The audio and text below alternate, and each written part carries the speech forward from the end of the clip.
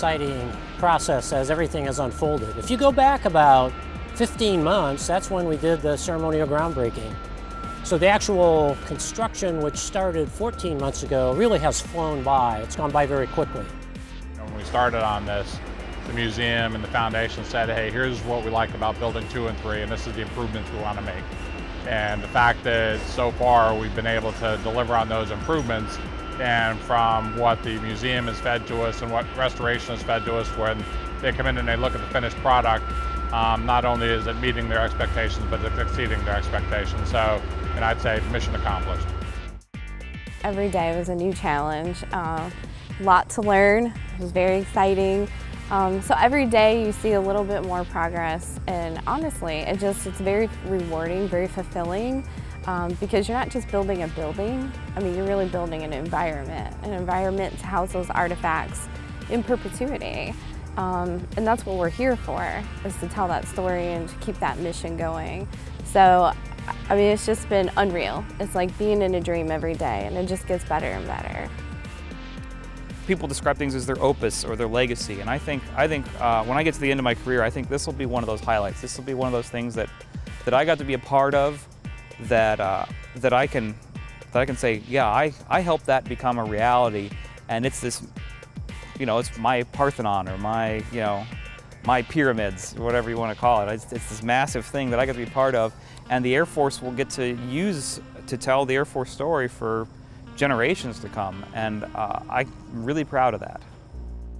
I guess why I'm in construction or been in construction, it, it's great to see something start out with nothing and end up a finished product when you can see the, all the hours and all the work that not only you, but everybody's put into the project. Uh, when I first started out here, it was just me and a couple of groundhogs and a few people. Uh, and now you can see we have about 100 men on site. Uh, we're approaching the finished stages of the project, and uh, it's a great feeling to see uh, that's going to be used, uh, what it's going to be used for and the purpose. you know, to, to be able to see the team work the way they did um, was a blessing because in the beginning, I will say I was nervous of to know to see how many people were getting involved and what all different departments there were and what the, every interest was along the way.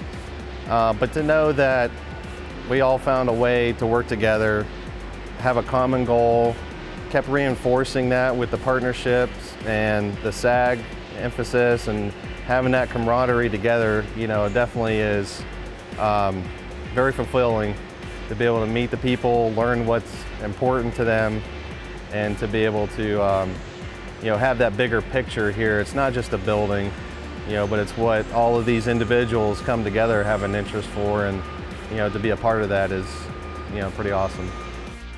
Getting the presidential aircraft over here and the R&D, which uh, have been difficult for most uh, visitors to get to, that's going to be a great thing, I think, for the museum and, and for all the visitors that come in. I think seeing the mission of the museum and kind of taking that in a little bit themselves, which uh, I know I've done over the years being the program manager for the museum, uh, the design team that did the um, that did the RFP, you know, they, they were brought into that and then uh, the Corps of Engineers was involved earlier, of course, before the project was awarded, because they're the ones, they're the contracting agent. I think everybody just kind of saw the mission of, of the museum and its uniqueness and so forth, and, and we all kind of rallied around that. I think that was really the unifying piece. One of the reasons I'm in this profession is, is every building you learn something about what's going on in that building and the people that in the organization, and that's certainly been the case here.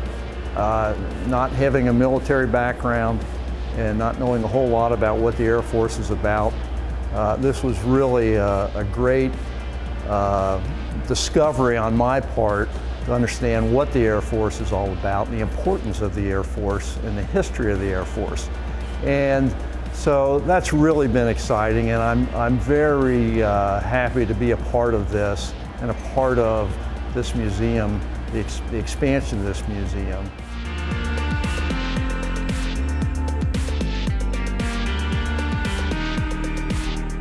Yeah, This, this is by far the largest project I've been on, you know, when I've been working with the Corps here. But it's, it's just fascinating. Like the, the team works very well together and just walking into a room where everyone's there, it just looks like everyone's all part of the same group and just working towards that single goal. And it's just, you know, blows my mind because I've never experienced that before.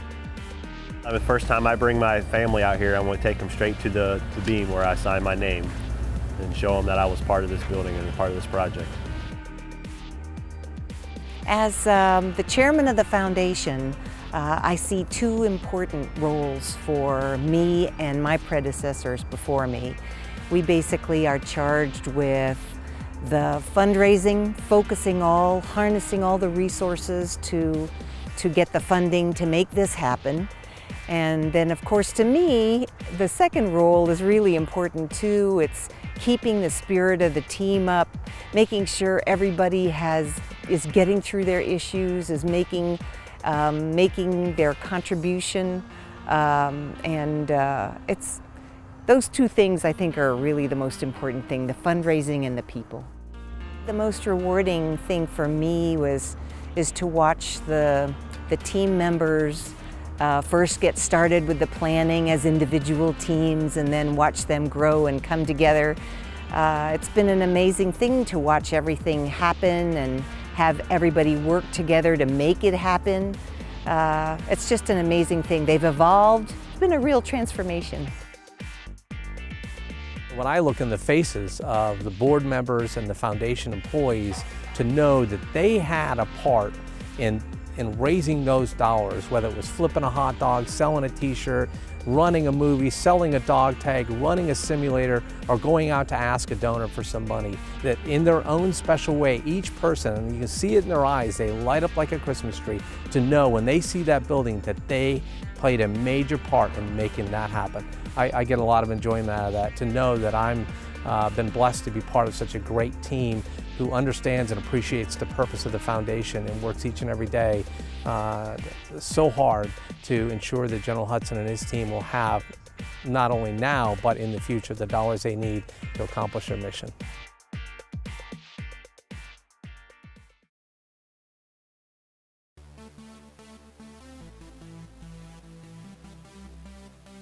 The great big crane was really impressive because it towered over everything. And it did its job here and all, got all the archways up and then went away. So um, really the job then went to all the high reaches and the other cranes that have had to do their work. All that stuff has been really impressive. And the best part about it is that this job to date has been done extremely safely. The 999 crane is, it was a large crane out here. It was exciting to see it being uh, assembled and then again dismantled uh, and the expertise with which the operators uh, were able to achieve some uh, pretty, uh, pretty creative stuff with the crane when we put this together. The 999 crawler, that was such a massive uh, piece of equipment that we had here to do the steel erection. I think to watch that come in, it came in in 12 semi trucks and it went together in a couple of days and I think everybody was just really amazed at uh, the size and how quickly that thing was erected. Actually, uh, I would say probably a little four inch grinding wheel that's been used on the, the railing for the painters. No, actually, yeah, the, uh, the Triple Nine crane is probably the, the best, uh, the largest piece of equipment that I, this is the first job I've actually had that um, had a crane like that on it. We've had cranes before, but nothing to that size. I have a piece of machinery and I have a moment. The machinery is, and I know I'll botch the name, but that really big crane that you had. And then um, the moment was the end of January when that keystone was put in. And, you know, if I recall, it was a, a very, very cold January day. And to be standing out there and watch that keystone be set and watching that American flag uh, shaped like a chevron unfurl and then the plant on top of that, the tree. Uh, boy, I still get chills up and down my spine when I think about that. And to know that the, the foundation played a part in that is just, uh, again, on behalf of the staff and the board, just, you know, we're grateful to be part of it and glad we were able to make it happen. Surprisingly, and this is going to sound like a nerd, but the whole computer BIM model was probably the favorite thing.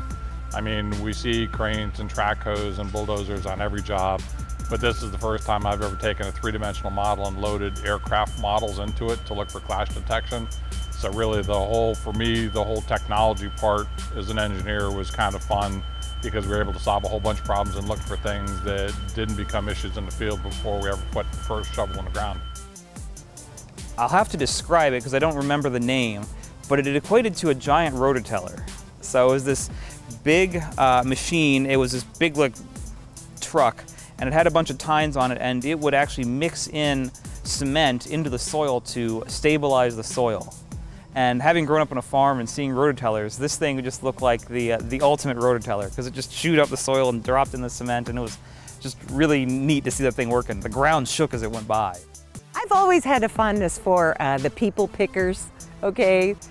The machines that go way up there and have people sitting up there doing things, painting and working on the roof. And I mean, I have a fondness for those things. I'm not sure I'd ever go up there, but I do have a fondness for those.